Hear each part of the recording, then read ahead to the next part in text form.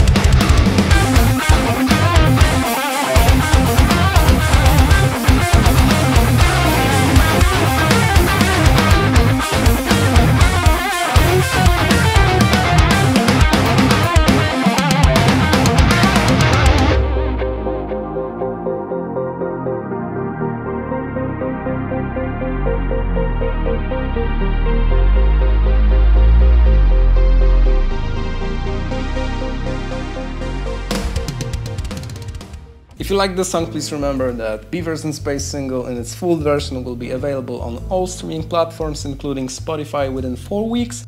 And this was just a half of the song, you know, in its, let's say, pre-mastered version.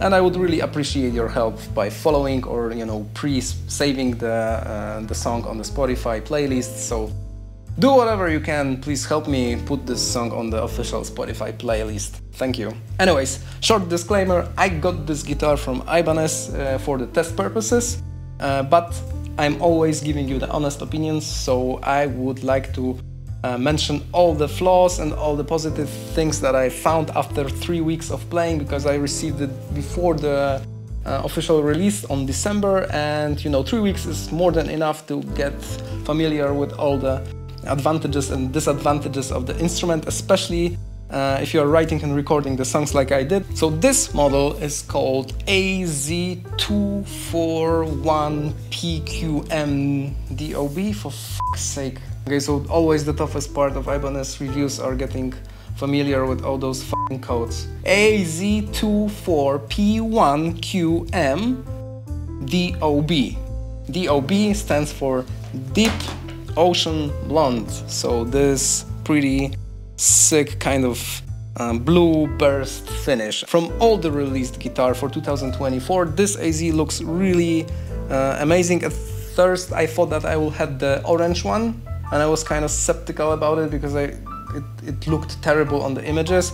But fortunately I got this blue one. We got the American basswood type of body, a quilted maple top over here, we got the roasted maple neck with the roasted maple fretboard and it looks amazing because um, those two color tones are you know blended with each other. So you have something like an invisible line of fretboard connecting with the neck. And it's you know it really gives some sort of kind of feeling of unity over here. Like this is a one piece of wood and of course it's not. But it looks amazing. This is the same uh, tone of color on the uh, fretboard and the neck so it looks really awesome we got a Gotoh locking tuners made in Japan, no problems after three weeks of using. We got the Gotoh T5002 floating bridge. No problems with that. I think that it's really durable. I got a, a lot of problems with sweating of my palm and I'm kind of always scratching the surface of all the metal and chrome finishes on guitars, but after three weeks uh, I didn't encounter this problem on the on the floating bridge, but I encountered this problem on the surface of my Seymour Duncan Hyperion. Later about that. Uh, the only problems I have is that I believe that it's a little bit too sensitive. You can adjust it, but at the first, let's say the first impression is that it's really extremely sensitive to any uh, touches. So if you're playing and uh, you want to have your hands or like your fingers over there, you will probably uh, be, be, constantly out tuning your guitar. So this is, uh, I'm not sure, maybe it's, it's easy to correct. I'm not an expert when it comes to the floating bridges, but uh, I got a Floyd Rose bridge and you know it's not a case in the Floyd Rose bridge, and it is the case over here. But you know nobody uh, is telling you that you need to get your hand all the time on the on the floating bar, right? Like with all floating bars, and this is really annoying, this thing is squeaking. Of course, in the manual they say that if it is squeaking, then you should, you know, use some kind of oil to get it rid of, but you know, it's, it's kind of annoying. But it's same situation in the Floyd Rose, especially in mine. This guitar is 25.5 inch scale and it has 22 frets instead of 24. I think that this is more than enough and the older I am, the more I understand the importance of 22 frets instead of 24, but of course that's personal. This is the bolt-on joint neck, so it's really easy access over here to those 22 frets.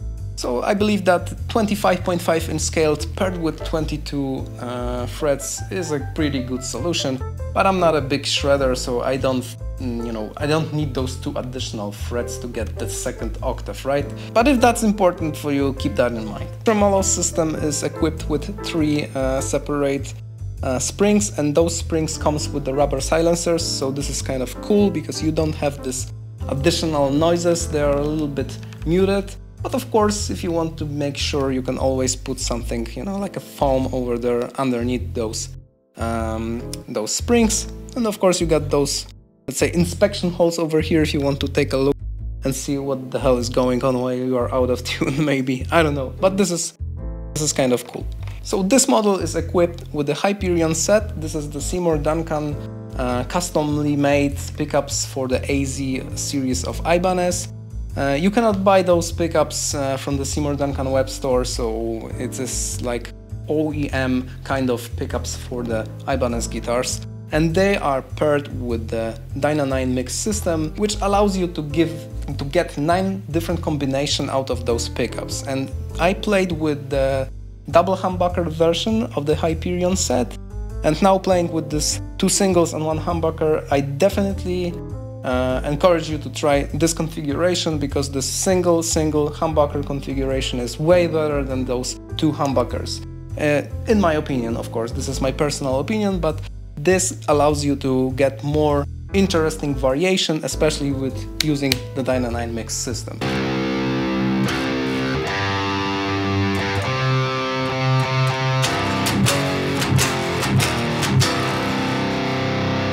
Okay, so we got the Bogren Digital Sub-Zero. This is the MLC uh, plugin. Uh, you can get those cheaper using my affiliate codes or the links and all the information about the discounts are in the description below. Let's go, let's play a bit. This is the um, humbucker, the bridge position, so let's riff.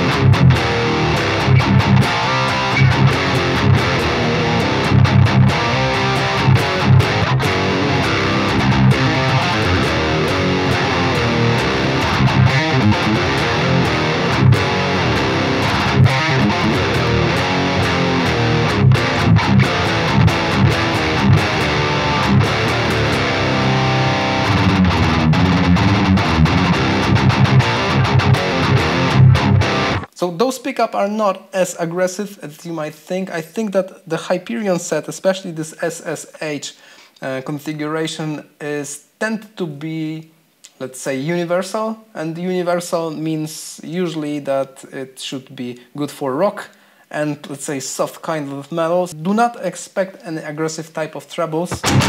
The output gain is let's say above the average but still it's not like it's a metal pickup.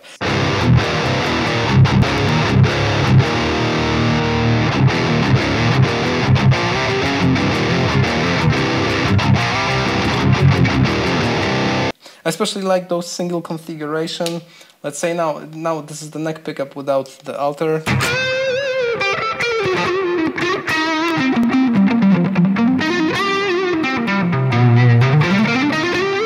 They're really dynamic. I think that, you know, it emphasizes your way of playing. Now, now let's do it with the alter switch on.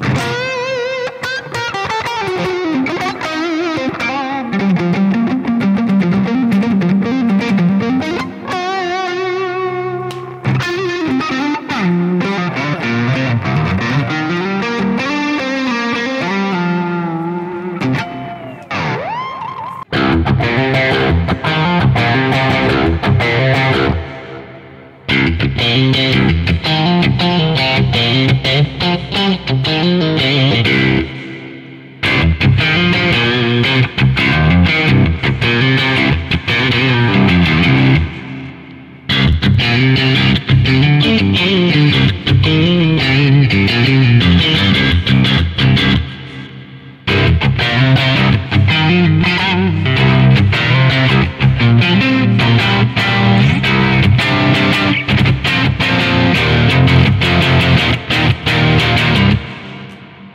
go with the altered on. Off. On.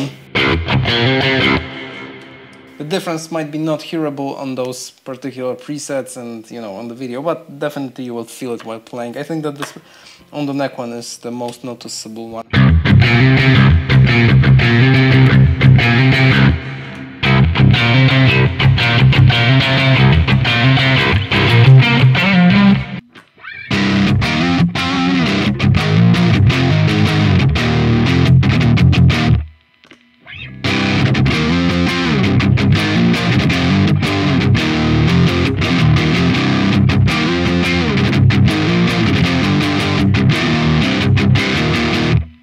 Guitar comes with a soft gig bag, which you know allows you to transport your guitar safely, but let's say it's moderately safe for uh, more inconvenient and unpleasant transportation. I definitely miss those times when premium guitars of Ibanez were equipped with uh, additional hard slash soft cases kind of uh, butted solutions. They were pretty awesome and they were lightweight and they offered a little more safety for the transportation purposes. Very important thing about those necks. This is the AZ Oval C type of profile and if you are looking for this legendary comfortability and you know thickness of the Ibanez, this is not it. This is not the model you are looking for. If you are looking for this, you know, really comfortable and fast type of necks, go for the Prestige and go for the RG series because the AZ got this oval C neck, which is kind of thick and it's more like an LTD, I don't know, but it's really thick and you know, for me it wasn't really an issue, but the difference between my Prestige and this AZ oval kind of profile is like heaven and hell.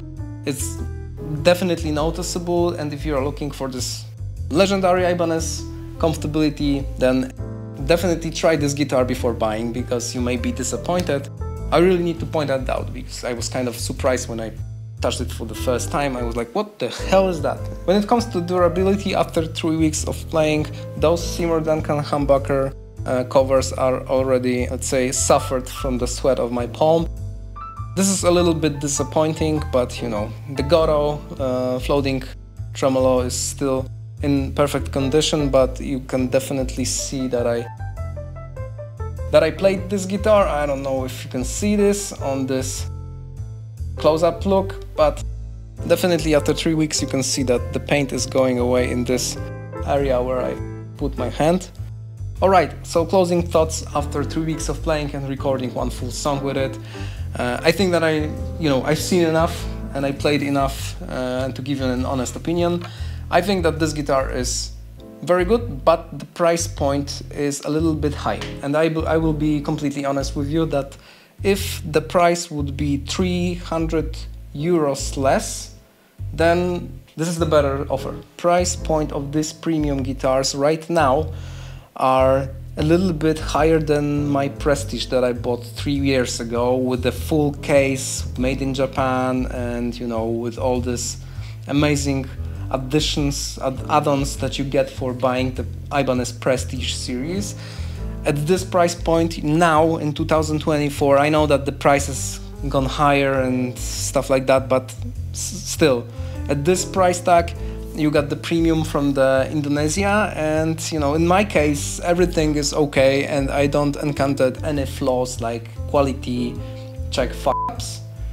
But still, this is the Indonesian manufacturer, so I would definitely recommend to go to your local shop and check the particular model that you're about to buy before purchasing to avoid any kind of ups in the quality check and you know disappointments. So still I decided to repurchase this guitar from Ibanez after this demo because I find that uh, this is really interesting add-on to my collection and recently I sold about four or five guitars already so I got some space now for the new instruments and this one is uh, pretty inspiring and this is my favorite color tone, my favorite color scheme, my favorite blue let's say color tone and it offers me sounds that I couldn't get from the um, double humbucker configured guitars. So this is a little bit expensive, but in the other case, um, I'm choosing my instruments based on the inspiration. If it hits some kind of, let's say, new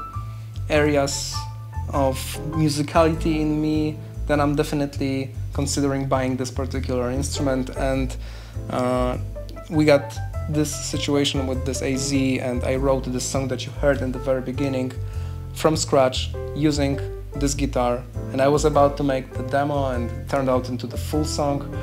So this is pretty inspiring, right? So please remember to leave the thumb up and subscribe to my channel. Also the full song that you heard in the very beginning will be soon on streaming platforms, Cultifact, Spotify, Bandcamp, everywhere. All the links are in the description below. Soon I will have another videos for you and the giveaway of Laney Ironheart plugin.